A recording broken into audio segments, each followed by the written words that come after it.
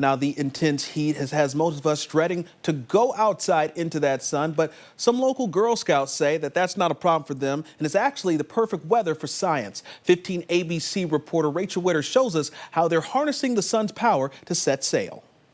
All summer long, the Girl Scouts of Central Texas have been building solar power boats. This weekend, they put on the finishing touches and tried them out. You're doing good. Rebecca Strickland says making the boat from scratch was really fun. I like like the the part where you like cut it because you got to like make your creation. The project not only gave the girls hands-on STEM learning, but also some valuable life lessons.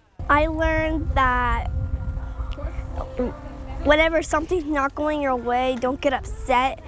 Ella Phillips and other girls were able to race their boats. She says Girl Scouts is about trying new things and building your knowledge. Even though like your first try might look really good, it doesn't mean that it's perfection. Women make up more than half of all college graduates according to the Pew Research Center.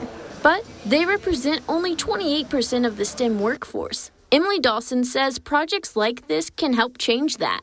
Honestly, our girls have the best ideas, and if we just step back and listen to what they have to say, we can learn a lot from them. Using the heat, they also made some sweet treats by assembling solar power ovens for s'mores. Reporting in Bryan, Rachel Witter, 15 ABC. This looks yummy.